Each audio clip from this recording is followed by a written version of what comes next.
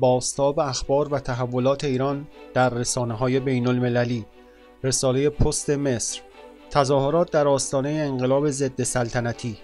در آستانه سالگرد انقلاب ضد سلطنتی توسط مردم ایران در سال 1979 در برلین، لندن، پاریس، بروکسل، آمستردام، استکهلم، وین، روم، برن، لوکسامبورگ، اسلو و ونکوور به طور همزمان تظاهراتی در بزرگداشت انقلاب مردم ایران علیه رژیم شاه برگزار گردید. Kyiv Independent اوکراین ایران و حزب الله به اپراتورهای پهپاد روسی در سوریه آموزش می‌دهند.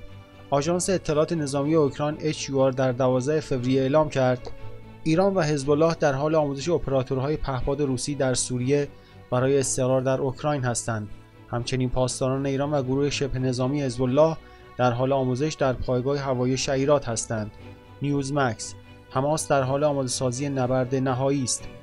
آنها حماس پول زیادی را صرف ساختن این اقدام دفاعی می کنند که شامل ساختارهای زیرزمینی خانه های بلوکی می شود. چه کسی آن همه فناوری را در اختیار آنها قرار داده است؟ غزه محاصره شده است. بدیهی است که اینجا ایران و پول ایران است. البیان مصر استراتژی جدید در قبال ایران لورد دیوید آلتون در کنفرانسی در پارلمان بریتانیا در 31 ژانویه گفت رژیم ایران در حال تشدید درگیری در خاورمیانه است نه به این دلیل که قوی است بلکه به این دلیل که ضعیف است. سایت العربیه فارسی.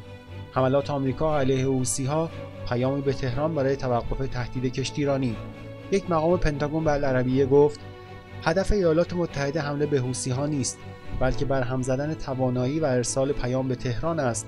تا به ها بگوید که باید حمله به کشتی ها و تهدید ناوبری بین را متوقف کنند.